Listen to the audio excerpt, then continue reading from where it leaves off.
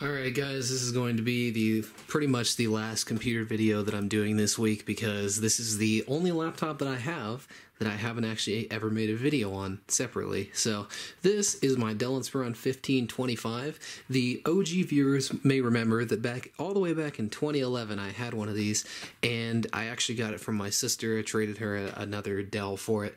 Um, didn't have it too long, didn't really make too many videos with it and I believe that was also part of the mass video deletion that I did back then. So I don't have any videos up on the old one anyway. So here we are. Funny enough, this one, I don't exactly remember where I got this one from, but it's the same color as my original one, so that's pretty cool. And, uh, you know, it's a little beat up given that this is a computer from 2007, 2008 ish. And, uh, yeah, I, I, have fond memories of this thing just because back in the day, I was actually planning on buying a 1545, which is the newer model that came out later, and I believe 2009, 2010 ish.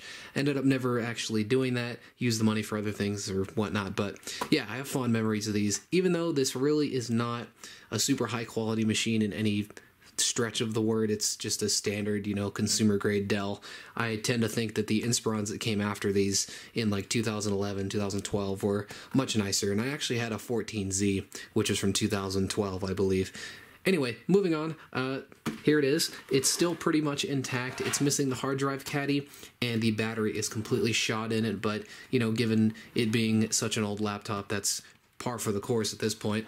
Again, I mentioned this in a previous video, but this is back when laptops had ports. So, you know, we got a bunch of USB ports, VGA, Ethernet, and a 56K modem, HDMI, Firewire, got an SD card slot on the front, which was nice, audio out here, you know, things like that. This one actually has a DVD rewritable drive, so that's cool. S video, and uh, yeah, that's about it.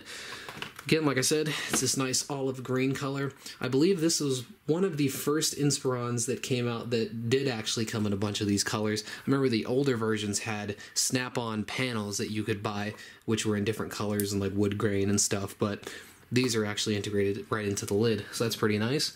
We'll go ahead and open it up.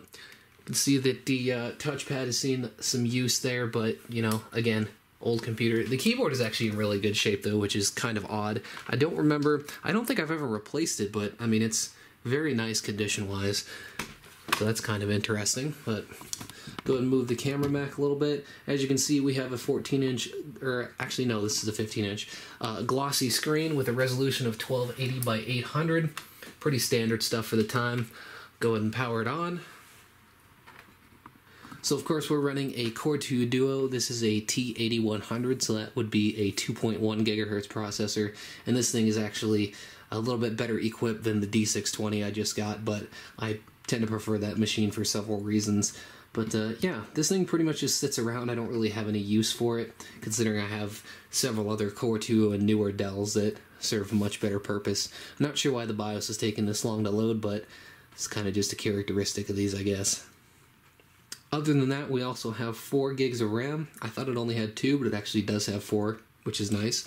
It's running Windows 7 Professional, 64-bit, Service Pack 1, pretty nice, and it does have just a standard 320 gigabyte hard drive in it.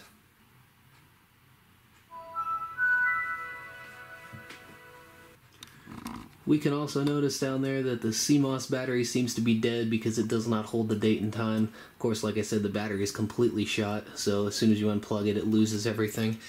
Um, I haven't really looked into fixing that just because I don't really care. Because again, I don't really use this computer for anything, but yeah, like I said, Windows 7, it was originally designed for Windows Vista, but I already have a dedicated Vista computer, and given the nature of that operating system, I prefer to not run it on more than one computer at a time. Go ahead and pull up the specs page as I typically do in these videos, even though, again, I already pretty much showed you the entire specs, but there you go, just for reference. Not too much on here, just a couple of programs that actually I haven't actually one of my friends actually installed. We have Minecraft on here, which I can't imagine runs very well, but uh, you know it is what it is. And yeah, there's not pretty much nothing else on here interesting, so I think I'll leave it there. But this is mostly about the hardware, anyways. With that said, thank you guys for watching this little short video on this Dell Inspiron, and I'll see you in the next one.